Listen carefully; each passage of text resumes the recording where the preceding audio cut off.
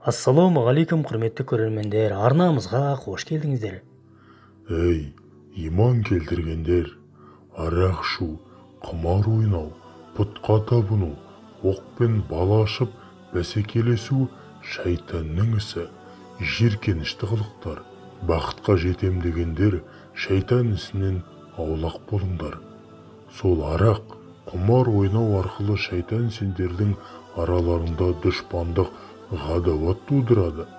Сендердің намаз оқуларыңа кедергі жасамақ болады. Алланы естеріңнен шығаруға тырысады.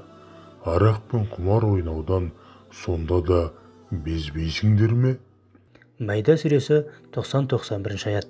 Осынау қасиетті аятта алла тағала арақ ішудің анық жаман іс екенін ашық көрсетеді.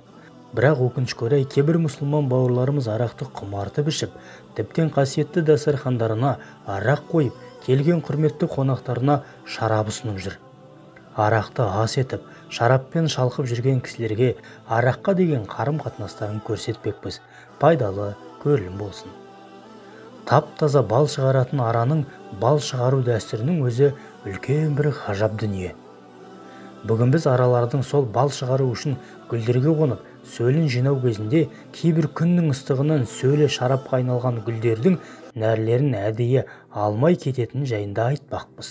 Барлық аралар өзара бұндай гүлдегі шарапты ішуге болмайтынын өте жақсы біледі. Алла тағала олардың түйсіктеріне шарапты ішуге болмайтынын ұғындырып қойған.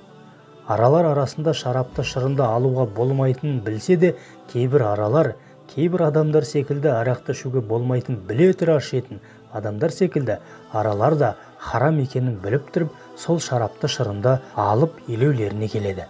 Аралардың елеулерінің алдында арнайы күзетші аралар болады. Сол күзетшілер барлық араларды иіскеп тексеріп қана кіргізеді. Бағанағы гүлдің шарапты шырынын ішіп келген араны күзетшілер жан жақтан жабылып ішке кіргізбей жатыр. Олар оның ішке арақ алып келіп балды былғағанын қаламайды. Оны итеріп-итеріп ішіндегі шарапты тазаламайынша ішке кіргізбейді. Тағы да қызықты қараңызшы негізі аралардың еске сақтау қабілеті өте жақсы дамыған. Егер осынау үйлеуге шарап кіргізбек болған ара тағы да осы ісін қайталап тағы да шарап алып келсе оған кешірім жоқ екен. Күзетші аралар оны естеріне сақтап қалып кейін тағы келетін болса қанатын жұлып үзіп үйлеуден құлатып жібереді. Қанатынан айырылған ара жерде қоңыздарға жем болып өлім ұшатын көрінеді. Субхан алла тағала қандай көркем жаратушы десеңізші. Кішкентай аралардың өзі адамдарға беретін балдарын тап таза халал қылып беру үшін жандарын салады. Осы аралардың ғажап жаратылыстарына қарап тұрып арақ ішіп арақ сататын адамдар оның ішінде мұсылмандар ойланса екен дейміз. Кішкентай аралардың өзі алла харам деген арақты тасыған өзге жәндіктерін жазалап адалдық үшін қатты тәртіп қолданады. Осынау кішкентай аралар туралы алла тағала құран кәрімде оларды еске алып. Раббың араға былай деп нұсқады.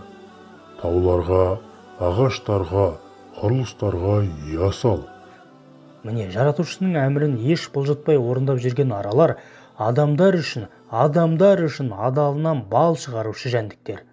Әрі олар харам нәрсенің не екенін өте жақсы біледі.